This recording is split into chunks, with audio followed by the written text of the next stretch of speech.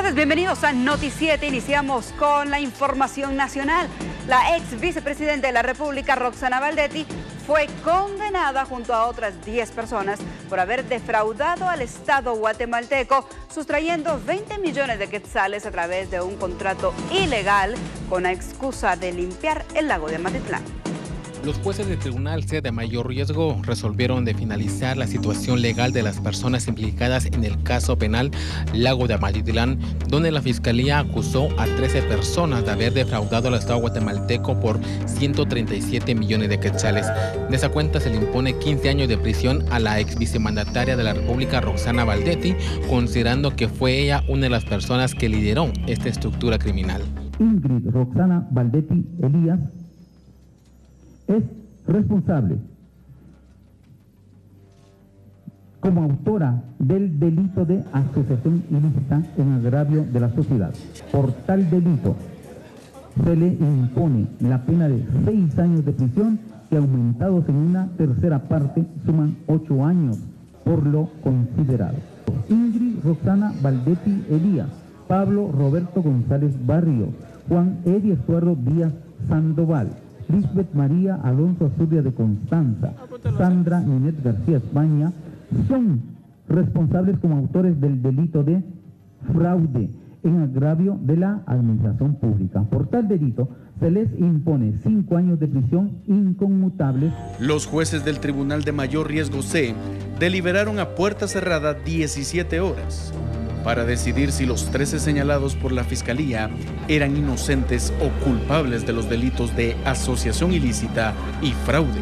Durante la lectura de sentencia, la exfuncionaria leyó un libro titulado Días de Gloria.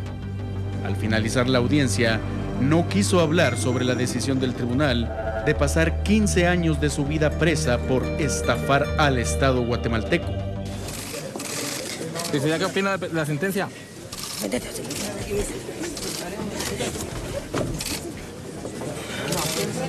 Licenciada Valdetti. Licenciada Valdetti. Edwin Alamilla, defensor de la ex vicemandataria, se limitó a decir que respeta la decisión de los jueces. Respetamos el criterio de los jueces, no lo compartimos. Este, este proceso apenas empieza. Hay recursos que podemos plantear y ya sean otros, otras judicaturas las que conozca. Las pruebas que presentó el Ministerio Público fueron insuficientes para condenar a los 13 acusados. Los juzgadores resolvieron declarar inocentes a Sergio Marroquín, Rubén Torres y Marilyn Anabela Sosa. Realidad, un poco de justicia en este sistema tan dañado, un respeto a las garantías eh, de mi patrocinada Marilyn Anabela Sosa Zurdia, que en realidad... Eh, demostramos dentro del el diligenciamiento de la prueba en todo el debate que ella no tenía nada que ver dentro de los supuestos que le acusaba el Ministerio Público. Esta sería la primera condena que se le impone a Roxana Valdetti en el sistema de justicia. Queda pendiente que resuelva su situación legal en el caso La Línea, cooptación del Estado, negocios del RIC y una situación de extradición que tiene hacia Estados Unidos. Bien lo indicaba el abogado a la mía, estarán impugnando esta decisión judicial porque no la comparten y de esa cuenta estarán presentando el recurso legal correspondiente. Con imágenes de Marlon Hidalgo, un reporte de Hugo Morales.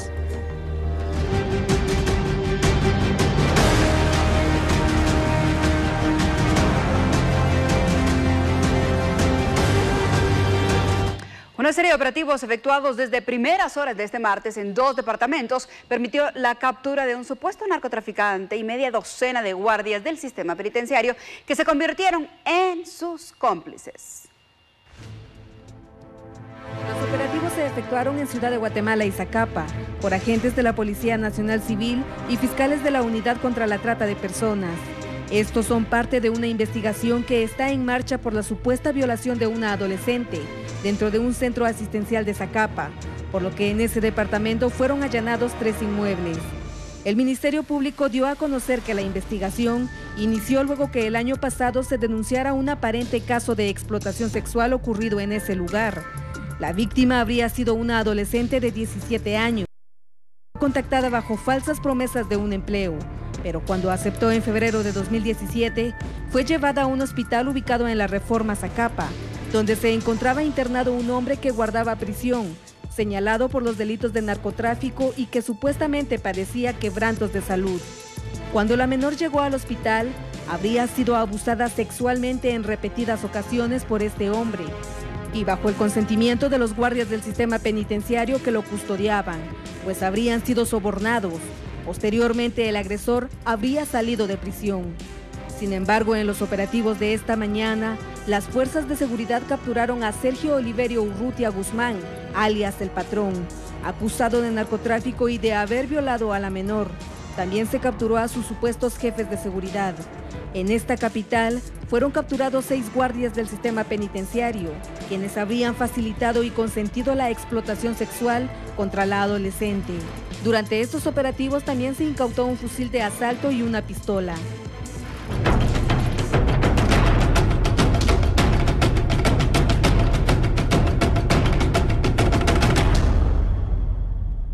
Tenemos una actualización informativa en relación a este caso que nosotros le presentábamos en este momento en donde un supuesto narcotraficante y también el guardia del sistema penitenciario pues están linkeados. Le vamos a dar lectura precisamente a este comunicado que nos brinda el Ministerio Público, ya que de acuerdo con las pesquisas de la Fiscalía contra la Trata de Personas, en febrero del año pasado, una menor de 17 años de edad habría sido captada con falsas promesas de trabajo, de oficios domésticos y trasladada con la finalidad de ser explotada sexualmente. En una primera oportunidad, la víctima recibió un ofrecimiento de 300 quetzales por prestar servicios sexuales a una persona que se encontraba internada en un hospital privado en el municipio de Zacapa.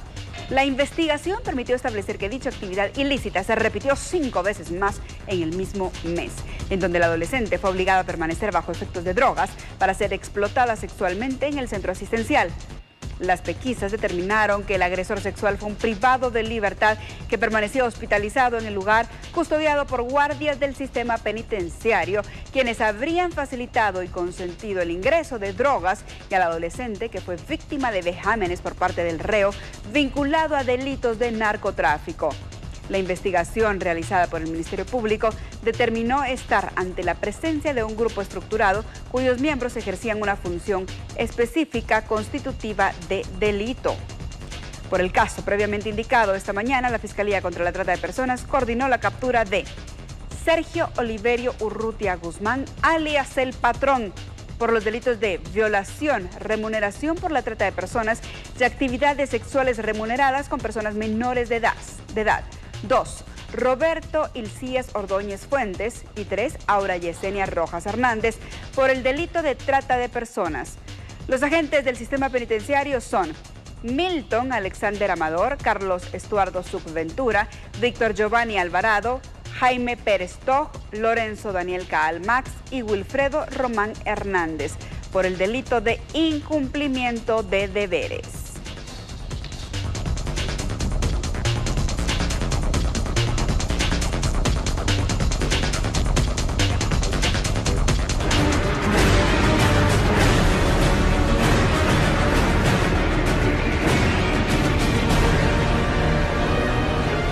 Precisamente los guardias del sistema penitenciario aprehendidos esta mañana fueron llevados a la torre de tribunales para que rindieran su primera declaración.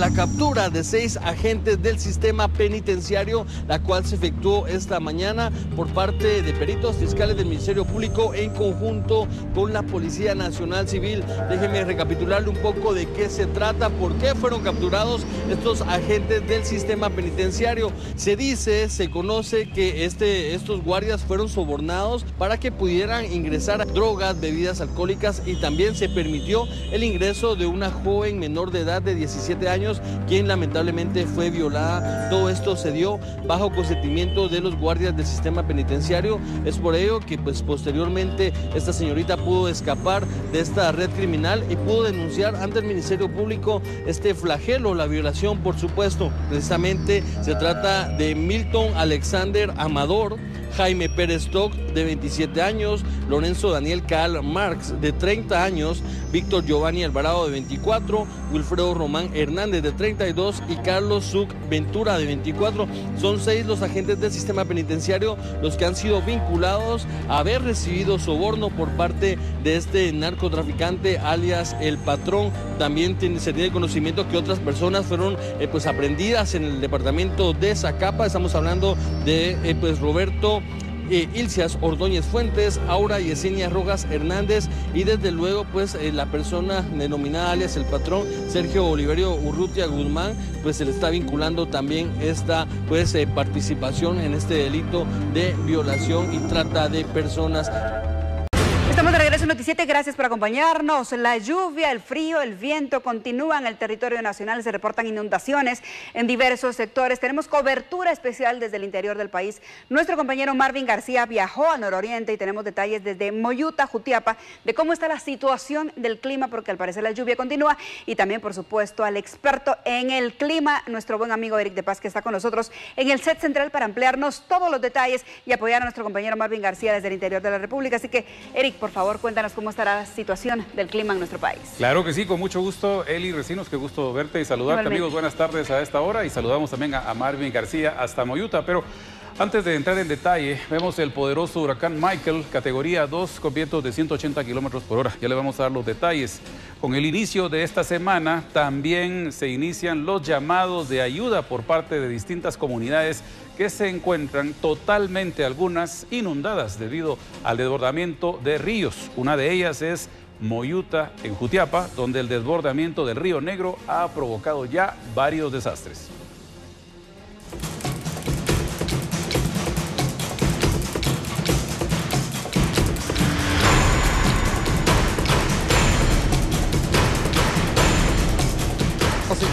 En el municipio de Moyuta, Jutiapa, acá en Ciudad Pedro de Alvarado, donde podemos eh, ver que inician a presentarse algunos eh, desastres a consecuencia de las lluvias. Afortunadamente eh, ha cesado las lluvias en este sector, pero no descartan los vecinos que esto se pueda incrementar en horas de la tarde. Pueden observar parte del inicio de inundaciones que existen en este sector. Acá es el lugar donde pasan vehículos, y es parte uno de los puentes donde nosotros nos encontramos. Es uno de los ríos y eh, han manifestado vecinos cercanos que precisamente donde nosotros nos encontramos es parte de un río. Acá tiene que pasar debajo de este puente el agua, pero la saturación y las constantes lluvias ha provocado que esto se pueda desplegar. Pueden ustedes observar, las personas han tenido dificultades para poder cruzar este puente porque eh, el agua llega hasta este eh, lugar y les ha sido muy difícil porque si ustedes pueden observar acá, amigos eh, televidentes, compañeros en estudios centrales, es parte del puente y ustedes pueden observar que en vez de, pasar eh, del lado bajo, está encima del puente y esto complica la situación porque hay varias comunidades. Si ustedes pueden observar al fondo, hay varias comunidades. También se ha informado por parte de vecinos que ganaderos están sacando eh, todo a las reses del de, el pasto. Esto a raíz eh, de las eh, inundaciones.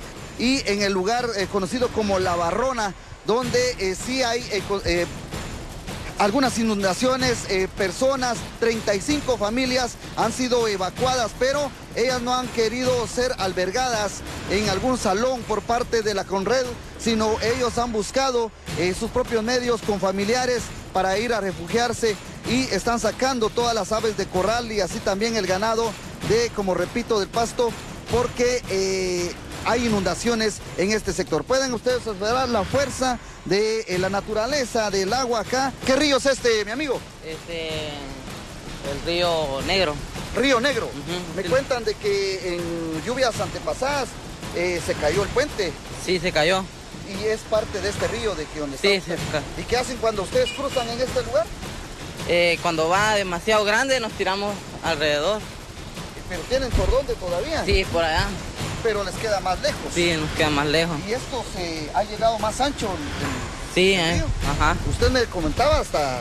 ¿Por qué lado? Allá, está llegando el carro. ¿Dónde está el pick-up? Sí. Hasta ahí llegaría el, río. Ajá. ¿Y, eso es en horas de la noche o cuando llueve más? No, cuando llueve más. Y ya como ustedes ven, puede que continúen las lluvias. Sí. ¿Ustedes conocen su Sí. acá está nublado, ¿verdad? Sí. Ya, mira, y, y eso es peligroso, ha eh, provocado accidentes a alguna persona o la ha arrastrado. Sí, entre veces, sí, ha arras- arrastrado varias.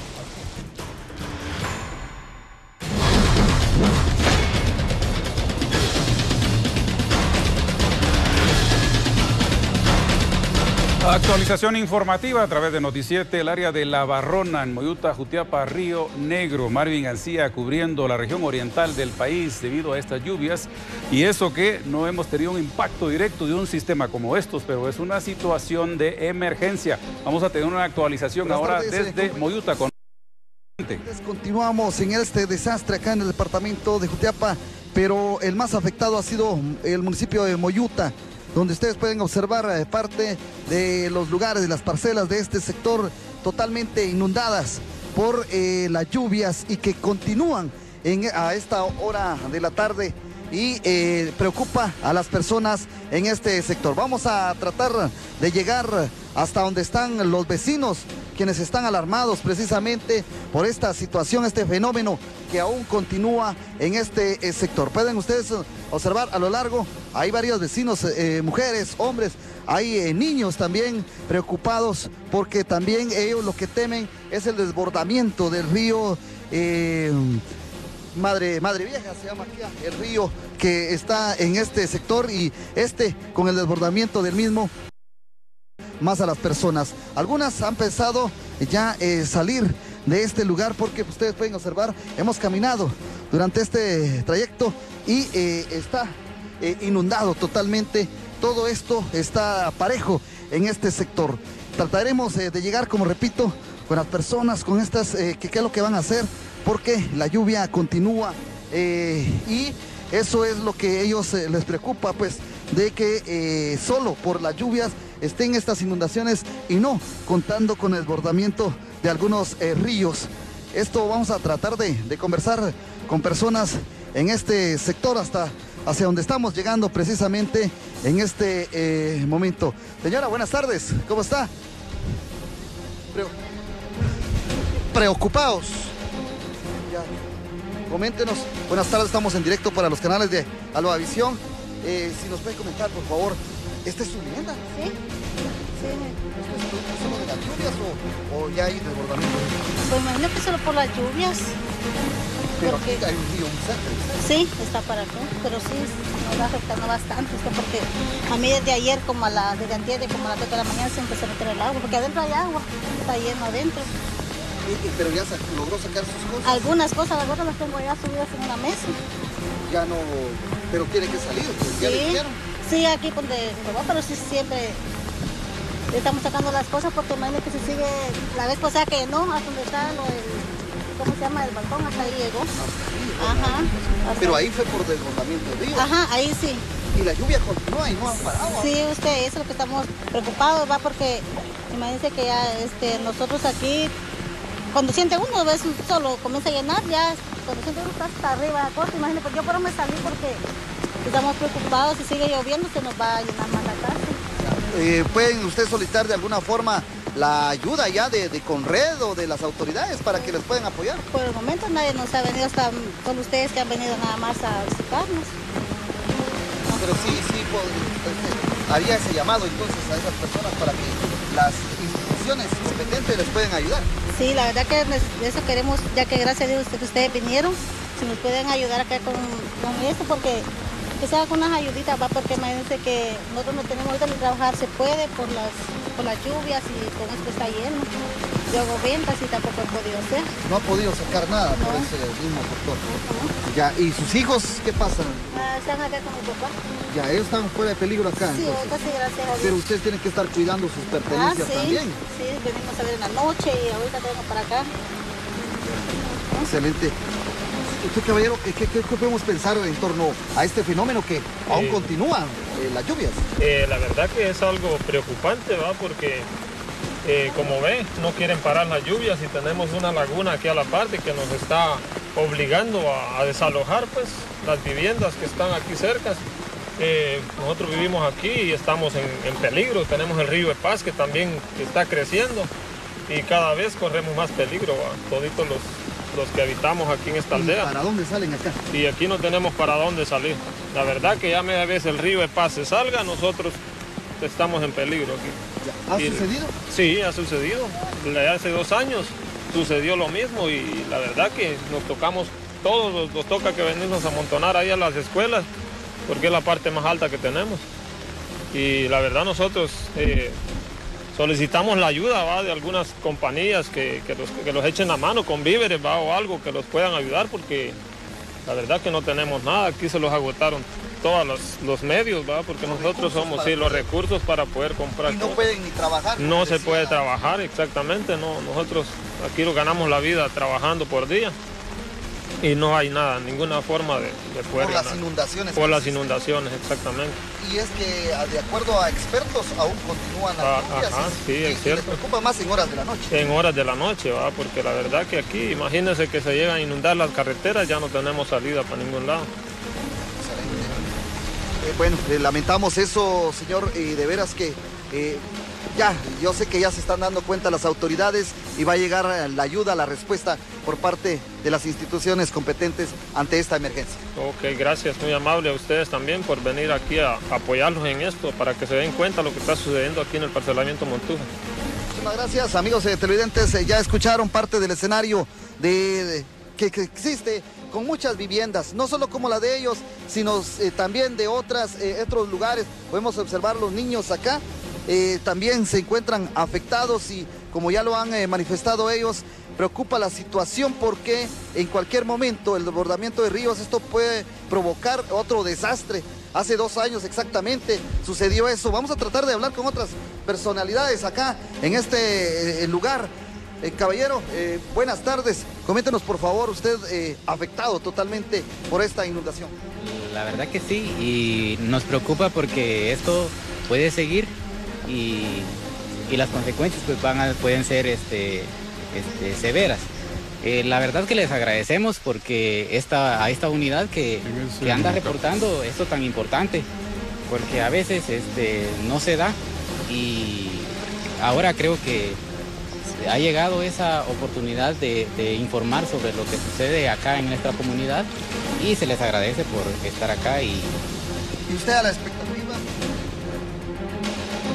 Gracias a nuestro intrépido reportero Marvin García y su camarógrafo José Kotzajay en el lugar en vivo de, de esta situación que es de emergencia y es un llamado a las autoridades municipales las autoridades que les concierne esta situación en cuanto a las evacuaciones y la atención por los alimentos que estas personas en estas horas de emergencia necesitan. La pregunta es por qué si el huracán se ha estado alejando, las lluvias prevalecen. Porque el sistema activó las propias zonas de lluvia en el Océano Pacífico y entonces toda la costa, desde ayer incluso El Salvador, la frontera, la región de Santa Rosa, toda la costa de San José, con lluvias y está previsto para Retaruleu y Champerico también esta misma situación. Gracias, vamos a estar en contacto con Marvin García y José Gotzajay a lo largo de esta emisión. También en las últimas horas, las comunidades de Chiquimulía, todo lo que tiene que ver Chiquimulía, Huazacapán, la zona de Tacisco, esto ubicado en Santa Rosa, han sido golpeadas fuertemente, como decían ellas, solo por lluvias acumuladas y saturación del terreno. Pero en otros lugares también ya se, ha estado, ya se han estado presentando el desbordamiento de ríos. Así amaneció este martes la comunidad de Monterrico en Santa Rosa inundada por el desbordamiento del canal de Chiquimulilla y otros ríos aledaños. Hasta el momento alrededor de 20 viviendas se encuentran inundadas en su totalidad debido a la gran cantidad de agua. Como se observa, las inundaciones han alcanzado un nivel tan alto que las personas han optado por utilizar sus lanchas de pesca para movilizarse, mientras algunos se atreven a utilizar sus vehículos de dos o cuatro ruedas sabiendo que en cualquier momento podrían quedar atrapados por el agua o la cantidad de objetos que ésta arrastra. El área rural de Santa Rosa no se ha escapado a la crecida de los ríos. La aldea El Cebollito, siempre en Chiquimulilla, es el mejor ejemplo. Como se observa, los campos de pasto están cubiertos de agua y los caminos vecinales lucen intransitables. Alrededor de cinco viviendas están inundadas en este sector. Algunos kilómetros después de Monterrico se encuentra la aldea La Avellana. Actualmente luce como si fuera una pequeña Venecia. Las calles y avenidas quedaron bajo el agua, mientras que 23 casas están anegadas y los habitantes han tenido que buscar refugio con familiares.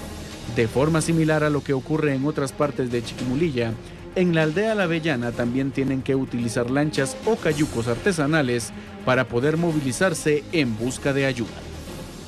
Bien, pero en medio de toda esta emergencia que viven comunidades como La Avellana, como Monterrico, como Tacisco, en la zona de Chiquimulía, de Huazacapán, algunos pobladores, fíjense, han visto beneficiados, se han visto beneficiados con el inesperado alimento gratuito. Y le vamos a decir por qué que ha afectado los departamentos de Jutiapa y Santa Rosa ha provocado una emergencia por inundaciones en diversas comunidades. Pero en la aldea La Avellana no todo ha sido negativo. Como si fuera maná caído del cielo, los pobladores se llevaron una gran sorpresa al ver que las calles y avenidas de la aldea se llenaron de diversas variedades de peces, que en temporada de verano ellos tienen que salir a pescar al mar y algunos son difíciles de atrapar.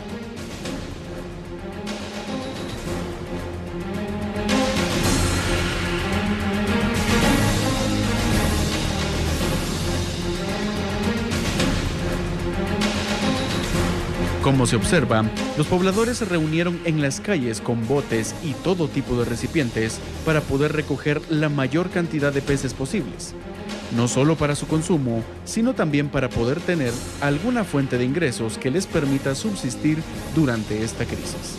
El desborde de ríos arrastró a todos estos peces y como si fuera una parábola de la Biblia, fueron entregados en las manos de los habitantes de la aldea La Avellana. Las cosas interesantes y curiosas que ocurren en medio de situaciones tan críticas como la cercanía con un huracán y la activación de lluvias. Esto ocurrió entonces en la Avellana, cerca de Tacisco, Santa Rosa. Y entonces esto también eh, va a pasar a la historia de esta región.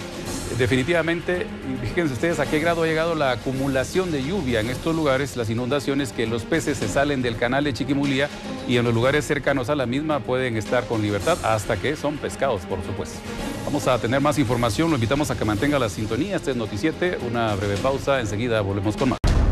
Gracias por la preferencia para Noticiete. El beneficio es que está bien, muy bien informado. Y también gracias a ustedes por enviar a el WhatsApp de Noticiete en el 55 34 80 61, 55 34 80 61 sus videos.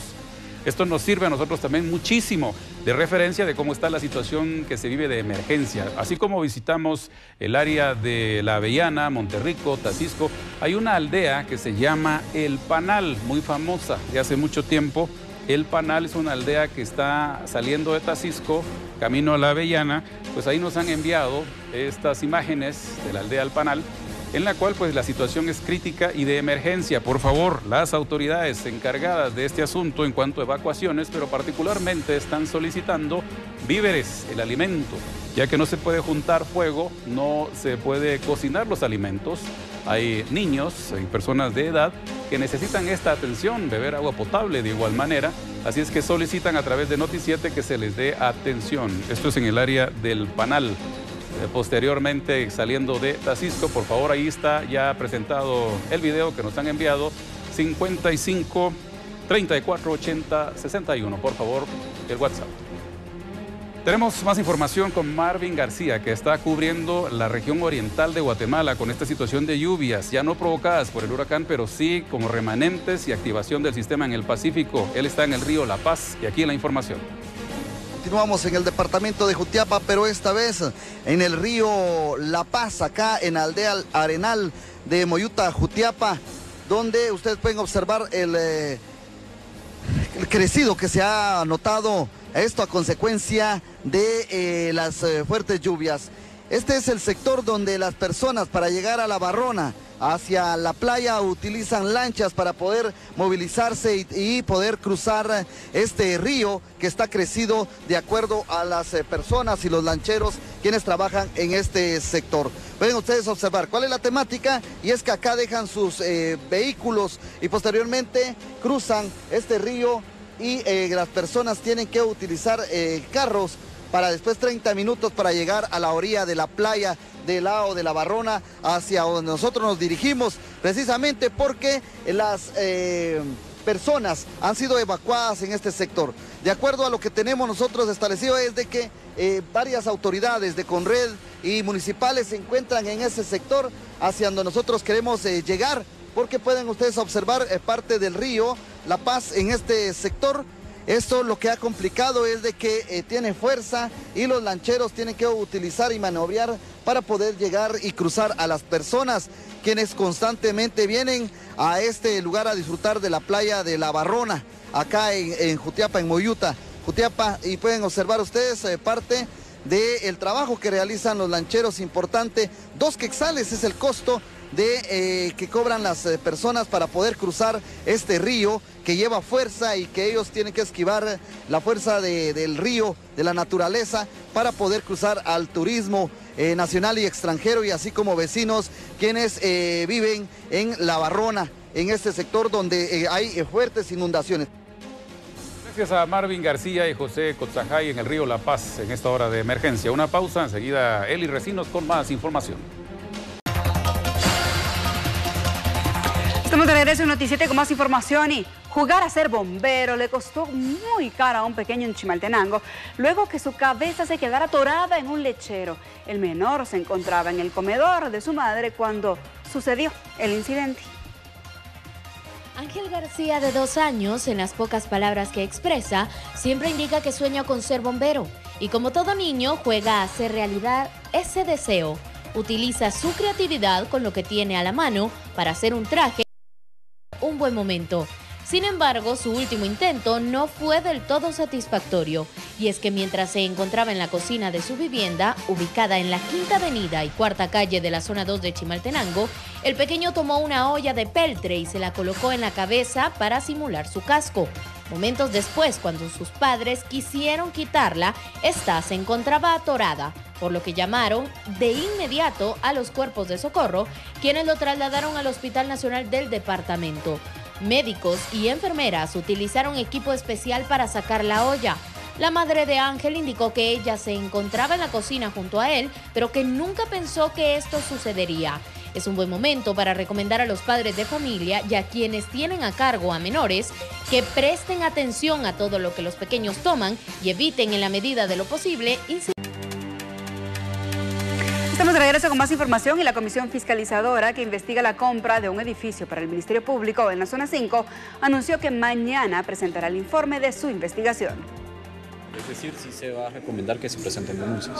Definitivamente, e incluso el solo el hecho de que exista ya un informe de la Contraloría General de Cuentas que dice que estaba sobrevalorado, y esto ya es un reparo para el Ministerio Público. Y esto ya debería de estar en el Ministerio Público denunciado por parte de la Contraloría General de Cuentas. Y, lógicamente, pues deducir las responsabilidades a las personas que resulten responsables pasos de la Comisión de Trabajo? Bueno, el DICABI está mintiendo. Eh, aquí hay un informe que fue fabricado para ese precio, porque eh, según eh, la Contraloría General de Cuentas, en su informe, actualmente tiene una sobrevaloración, porque el, el informe que refleja la Contraloría General de Cuentas es de 31 millones de quetzales, no tomando en cuenta millones de quetzales que ya se le invirtió al edificio. Esto está aquí documentado y lo ratificó prácticamente Cerco, que fue el que hizo el informe de la Contraloría General de Cuentas. A la larga, el desfalco resultó siendo aproximadamente de 8 millones de quetzales, una sobrevaloración de 8 millones de quetzales, porque el informe de la Contraloría General de Cuentas también la pudimos concatenar con el informe del precio del avalúo que tiene la Municipalidad de Guatemala, que también es de 31 millones de quetzales actualmente, no tomando en cuenta también los 4 millones de quetzales que le fueron invertidos ya por el Ministerio Público en ese edificio. Estamos de regreso en Noticiete. Muchas gracias por acompañarnos. Vamos a finalizar con un agradecimiento a todos los guatemaltecos de buen corazón que han ayudado a través del segmento Historias de Vida. A don Isabel, una persona que tiene tumores y no tiene familia. Veamos esta historia. Así es, compañeros, muy buenas tardes. Y nosotros continuamos con las buenas noticias acá en este segmento. Esta vez, de nuevo, estamos acá en la comunidad de Chanrayo, en San Agustín, a Cazahuastlán, El Progreso. Esto para traerle muy buenas noticias, ya que recuerdan ustedes el caso de don Isabel, un hombre que no tiene familia, sin embargo, fue recibida por unas personas de buen corazón para brindarles un techo y también alimento. Sin embargo, él padece de un tumor que poco a poco se va a grabando más esta enfermedad. Y pues obviamente las personas que lo recibieron son de escasos recursos y no tenían para poderle comprar lo necesario. Sin embargo, hoy, gracias a ustedes, pueden ver en la pantalla todo lo que ahora él tiene, todos los implementos que las personas de buen corazón le han venido a donar para que él pueda continuar y seguir adelante con esta lucha que tiene en contra de la enfermedad que padece. Hoy esta es la historia que le estaremos presentando a las 22 horas acá en el noticiero, en la emisión estelar y por supuesto eh, también el agradecimiento respectivo que se le va a dar a cada uno de ustedes por parte de don Isabel para que nos comente, me imagino usted contento de todo lo que los guatemaltecos lo han apoyado. Un agradecimiento para ellos. Que, ¿cómo le digo? Gracias para las personas que lo han apoyado. Gracias que me ha apoyado la gente. Usted ya se siente más tranquilo porque tiene sus pañales, tiene Sí, su comida. Tengo mis pañales, mi comida y todo, bebida y todo. Me bañan y todo. Y es de esta manera como las personas pues lo han apoyado, no solo los de esta comunidad, sino también de otros departamentos han venido también de la ciudad capital. Es por eso que de nuevo le hago la invitación a las 22 horas para que nos pueda sintonizar este día. Con esta información yo regreso con ustedes al set principal. Muy buenas tardes. Muy buenas tardes, Luisa. Gracias por brindarnos esta nueva historia de vida y, por supuesto, gracias a los guatemaltecos por siempre ayudar. Y de esta manera nos despedimos de ustedes. Gracias por acompañarnos. Buena tarde. Precaución con la lluvia.